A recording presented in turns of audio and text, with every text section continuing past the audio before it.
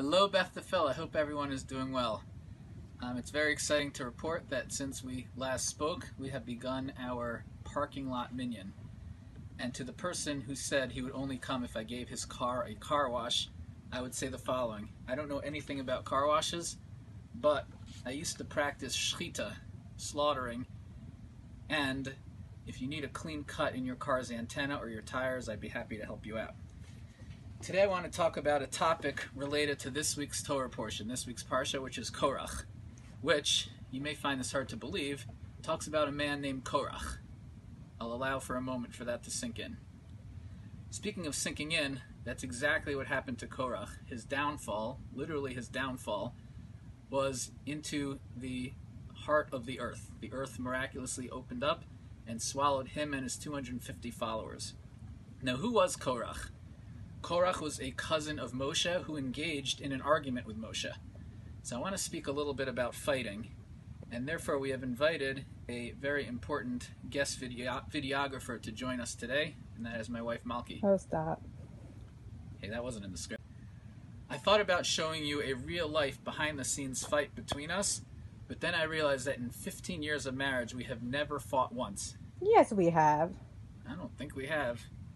All right, maybe we have. But here are some examples of our fights. I married the better spouse. No, I married the better spouse. Last I checked, I did. You're the better parent to our kids. No, you definitely are.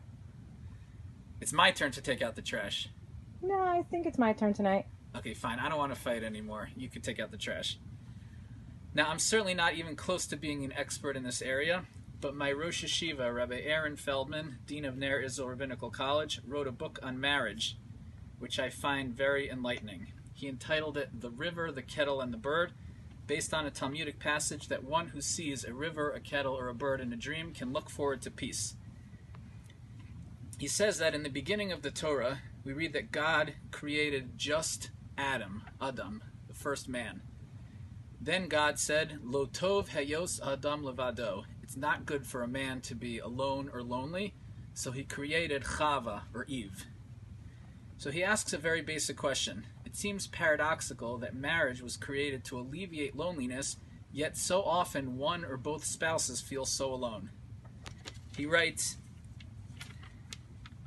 the explanation, in short, is that marital unhappiness is caused by man's abuse of marriage. When an instrument is used without regard to the manufacturer's instructions, is it any wonder that it does not work efficiently or that it does not work at all? Yet this is exactly what happens to marriage. What then are the manufacturer's specifications for marriage? Now, I want to preface the rest of this video by saying that there clearly are times when fighting and even the termination of marriage are often necessary. For, in- for instance, if one spouse is, God forbid, abusive or cheats or is just a mean spirited person, then of course there are valid reasons to not continue the marriage. We are discussing two normal, healthy people. So he writes that a serious obstacle stands in the way of a successful marriage the evil inclination within man. Man's evil inclination drives him to concentrate on his own physical desires, power, and prestige. In other words, to become a servant of himself rather than God. He continues Marriage makes it possible for man to overcome his inclination towards self centeredness. It permits him to change the focus of his existence from lust gratification. He concludes the only way to avoid or resolve marital discord is by building the marriage in accordance with its original plan, by using marriage as a vehicle for becoming concerned with another human being's welfare. The only counseling which can be effective is that which teaches marriage partners to become selflessly concerned with each other's pleasure and ego feelings, even at the expense of their own.